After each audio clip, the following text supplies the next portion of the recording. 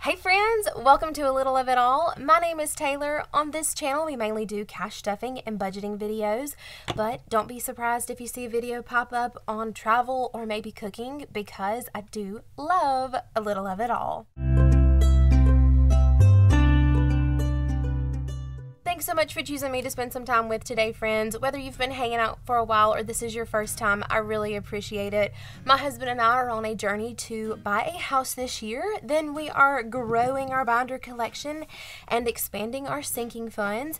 So make sure you are subscribed to this channel so you don't miss a single update on that fun, exciting adventure we are on. We would absolutely love to have you join us and give this video a big thumbs up so I'll know that you're here. Guys, we have a fun one today. We are making some envelopes today and the giveaway winner is going to be announced so make sure you stay tuned to this video and let's get it started so um, today we are going to be finishing up making I've already made several envelopes but we're going to be finishing up making my envelope for Discovery Plus, my tithing envelope, my envelope for Peacock, um, electricity, universal yums, and then our water envelope. I tried to pick ones that were like looked different and had like a different vibe to them. Um, so that's why it's an array of different things um, that we are making envelopes for. And then I already have three of my six um, quote unquote envelope sleeve uh, lamination sheets cut, but let's cut three more. So, to make the envelopes that I'm going to be making today, um, you are going to need a paper cutter or just to be able to cut paper. And we're going to be using my new paper cutter today that I love. I'm so glad I got this paper cutter. It is um, so much better than my old one. I really, really like it. Um, so we're going to need this paper cutter. And we are going to need 5 mil laminating sheets. I have found that I like the 5 mil better. They're just more structurally sound. So I am just making all of my envelopes from now on with 5 mil laminating sheets.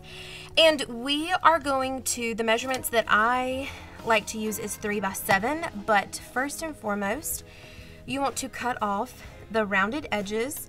I guess you don't have to do this but I like to. I like to just cut it off, give me a nice even surface to work with. Here.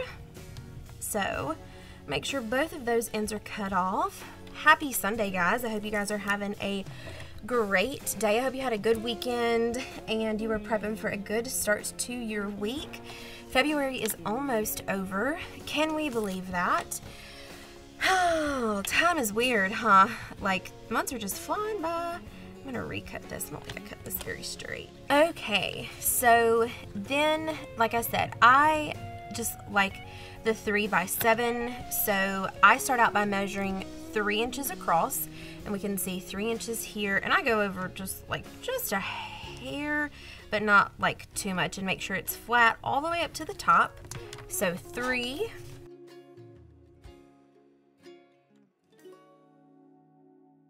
So then I go seven across. So we went three high and then seven across. So seven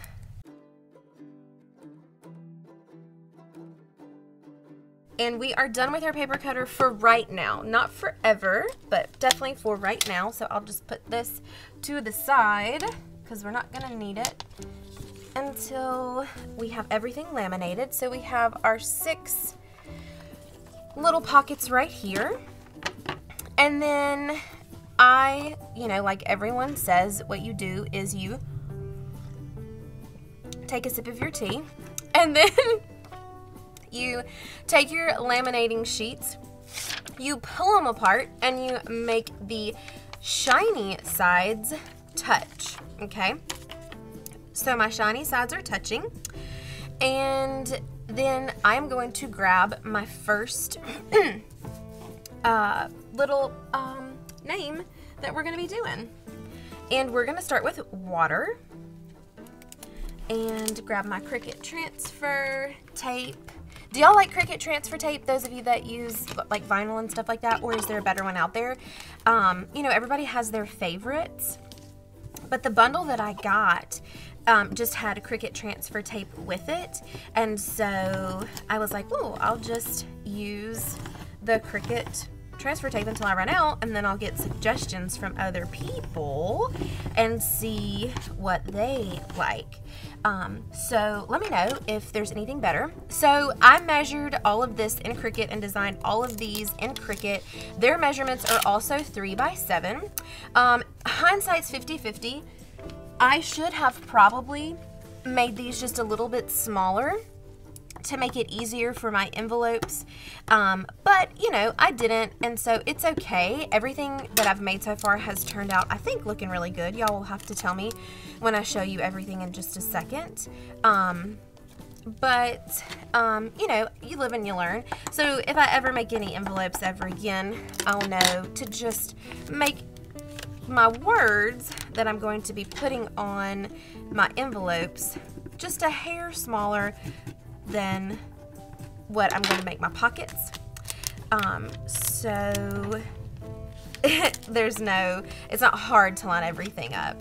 So, you know, water is going to be a little bit difficult for me to pull up.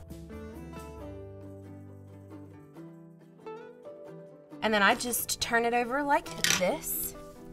I grab my envelope. I make sure that I am dealing with the opaque side, the not see-through side, whatever you want to call it, the non-shiny side, and then I make that part touch the inside, the sticky part of my vinyl. And I'm just lining this up as best I can, as close as I can. And I'm wanting it, I'm doing it with the top because I'm making envelopes with holes at the bottom.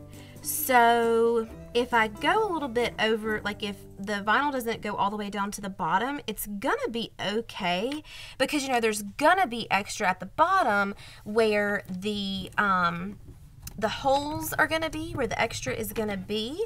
Um, so that's why I'm making sure the top is lined up correctly and the top looks good. And that way, if there's hanging down down here at the bottom, then that is going to work perfectly fine because there's going to be extra down here at the bottom where the holes are. So water's looking good. I loved the color that I picked for water too. I was like, oh, water Kind of looks like the color of some water some places. Can y'all imagine living by water that looks like this color? Oh, what a dream that would be. Oh my goodness. We live um, in the south and we go to the beaches sometimes. Um, but the beaches in the state where I live are not pretty, but we travel to like Florida and to Destin and things like that. They have pretty beaches that have that has water that's pretty. So water is done. So I am just to set water to the side and I'm to move on to my next one.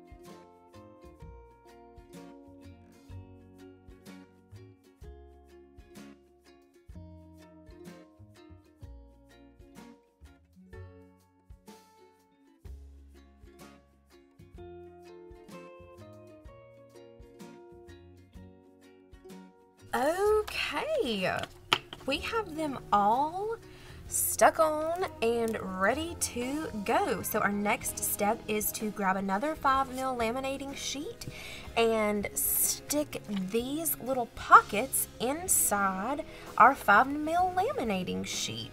So I am going to make sure that I've got all of my backs together just real fast. So I'm going to grab another 5 mil laminating sheet and we're going to get started on that. Okay, I have two more laminating sheets. I've got one more over here. But what I have learned and what I like to do is I start out, I grab my laminating sheet. I'm not cutting this one at all. So all rounded corners will stay where they are. And what I like to do is I open up the laminating sheet. I go ahead and I do open it up all the way. But then I fold it back over just like this. Hopefully you guys can see that and that's in full frame. To where like it has like a little like loop and it stays up like an open by itself. I don't know why that helps me, but that has helped me for some reason to be able to keep things straight and keep things in order and it like helps secure the little pockets when I stick them in there. So for me, and I think everyone that makes envelopes, um, you get three envelopes per um, laminating sheet. So I'm going to start with water and I'm going to try to make sure I don't have any dog hair here. And I'm just going to stick it in like this. And I used to like shove it up as far as I could um, at the top up here, but I don't really do that anymore. I just kind of get it to where it's secure and then I make sure my two laminating pieces, my two little pockets are lined up as good as they can be all the way around. You know, it's not going to be absolutely perfect, but just get it as good as you can. Okay, so that is looking good.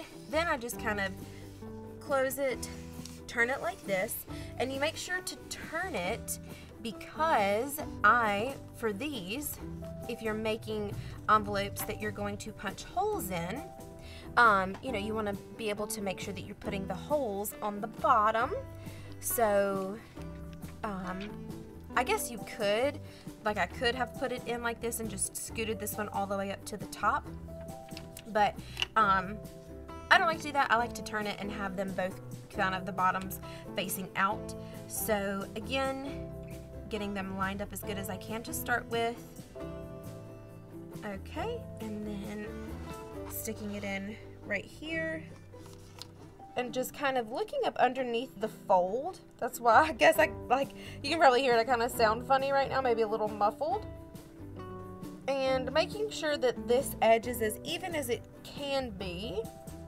And then I just kind of place my finger there, grab it, let it go, this is looking good. I'm loving this. And then I kind of fold it down again just to kind of hold everything still.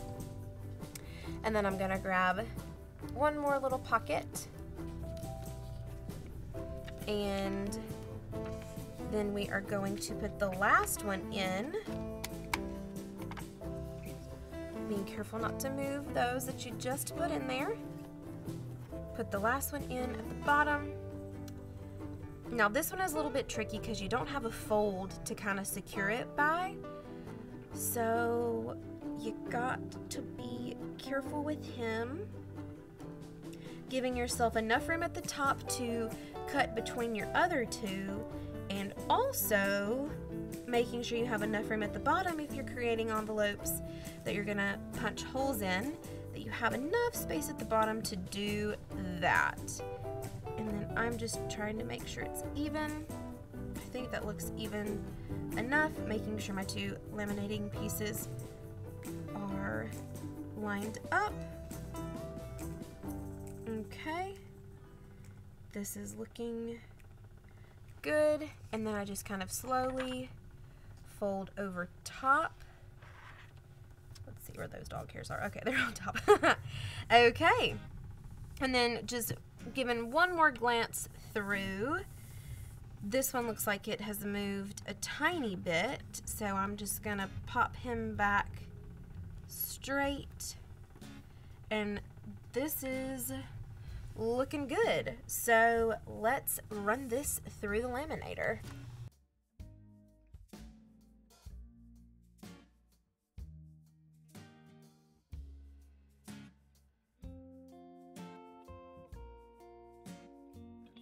Okay, perfect. All right, I'm gonna set this to the side.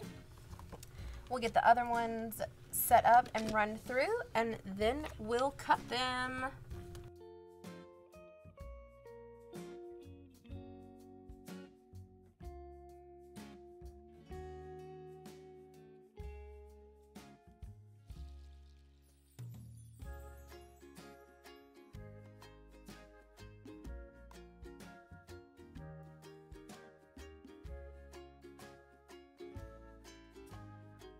Okay, we have our two laminated sheets ready to be cut. And I think now would be a great time to announce our giveaway winner. So here we go. All right, guys, it's time to pick our winner. So let's start. Okay. Yay! Re and there she is! Yay! I'm so excited! Yay! There is our winner. So let's get these bad boys cut out. Oh, there was something in this one and it got laminated in, but it's okay. Okie dokie. Cutting these out. I start with this one first. I love this paper cutter so much because it has like a, almost looks like a guitar string that tells you like where the cut is gonna be. The only thing is uh, is on the envelopes. Um, you can't really see it um, because you know it's clear. Um, obviously clear envelopes, but if I look just hard enough, or I bet if I like had put colored paper underneath this before I cut, um, I would have been able to see it. Um, but that's okay.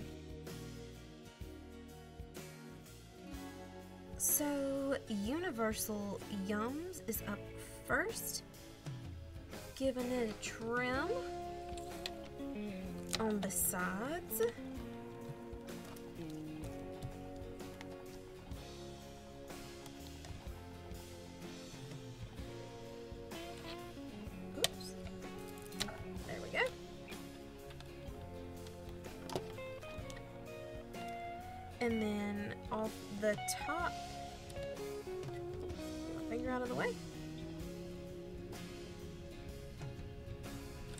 Gonna be perfect. Let's see if I was right. Yes, I was. And then just a hair off of the bottom.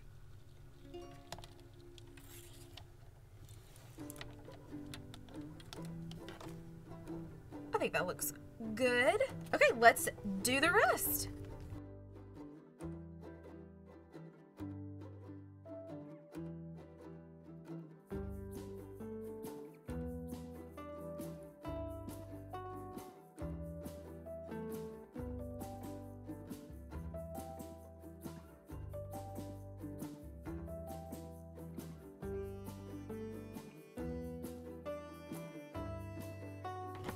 Beautiful! Yay! Now let's run them through the laminator just one more time individually to make sure they are sealed and good to go. Okay, we are good to go. Two things I wanted to show you guys real quick. You can see it, I think, on this one best of all when I was talking about how my design was going um, past my little pocket length, but I wasn't worried about it, it's because my overall envelope was going to be bigger. And yes, like I can see it, and you guys can probably see like here and here and here and here like these flowers went over and like you can see the cut off here and here. But like these are not professional envelopes. No one is going to see these or use these except for me and that doesn't bother me. As like long as the whole design is there I am happy with that. Um, and one thing I wanted to point out to you also if you guys decide to run your envelopes back through um, if it reseals like this one did for me it is no worries. All you have to do is just run your paper cutter over it again and it will just you know unseal it at the top, but I'm not going to do that on camera. We'll do that I'll do that later. Um, so next step for me is going to be to round my corners. I got a paper, I got a corner rounder and I have become obsessed with it. I was not sure if it was gonna work, if I was gonna like it, but I really like it. I just wanted to show you guys how I use it. So I flip my whatever I'm rounding on the back. I hold this upside down to make sure that I can see the corner and make sure that it's like lined up properly. And then I just round it out. I don't really have a method to choosing like which size corner rounder I pick. Um, I probably should have waited to round these corners because I'm gonna have to recut this envelope, but that's okay. Um, it's just whatever I'm feeling, you know, whatever size, you know, corner I think it needs to be. If it's like a really big something, um, it will be the bigger one. You know, I probably could have used the bigger corner um, option on these. Um, and if it's a if it's a tiny thing like a savings challenge or something like that, I will use um, the smaller option. The only thing with doing your um, uh, your holding your corner rounder like this is the little corner pieces pop up everywhere but that's okay for me because I would much rather see my corner make sure it's placed in correctly um, and that I'm going to get that perfect rounded edge that I want versus, you know, just kind of winging it and hoping that everything turns out okay.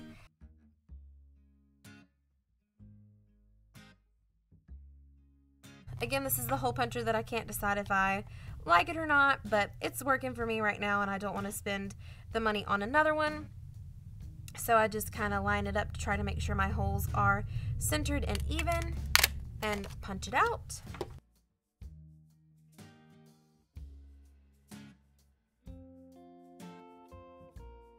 And last but not least, the final step is to put it in our binder.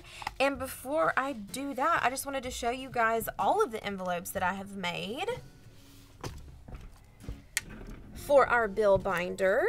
So we've already seen these guys. I'm not going to show these to you again. But these are the other ones. Some of the designs are the same, but not all of them. So we've got Good RX. MPE, this is my teacher's insurance. Disney Plus, I don't know if I'll do a design in anything like this ever again. This was really hard. Same with ESPN Plus. This was really hard but it's super cute. Internet, I really like.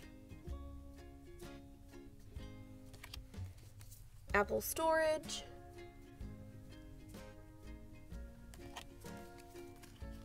State Farm.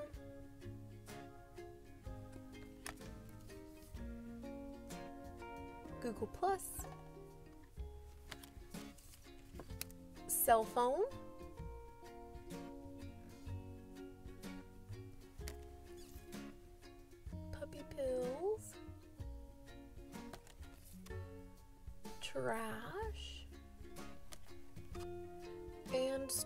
Unit. And those are the envelopes for the bill binder. So let's get them put in. I don't think I'm to put them in any particular order right now. Let's just get them in there. Yay! And everything is centered, everything is even on the sides, nothing is hanging out one side or the other. Love that. Big fan. Bill Binder is ready to go and ready to be stuffed with prop money. I'm so excited. Alright guys, that wraps it up for this video. Um, I hope you guys had fun. I hope you maybe learned something or saw maybe a different technique or way of doing things or just had fun hanging out with me. I had fun hanging out with you guys. I appreciate you guys being here. Y'all are the absolute best. Thank you for spending some time with me. Don't give up doing great things. You guys are awesome. I'll see you guys next time. Bye, friends.